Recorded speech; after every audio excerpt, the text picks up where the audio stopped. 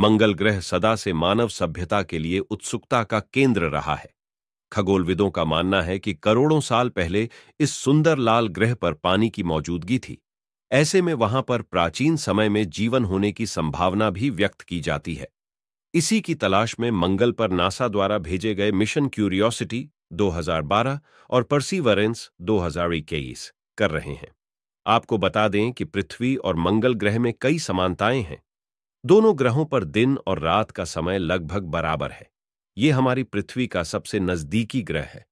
इसी वजह से इस सुंदर लाल ग्रह को पृथ्वीवासियों के दूसरे घर के रूप में देखा जा रहा है।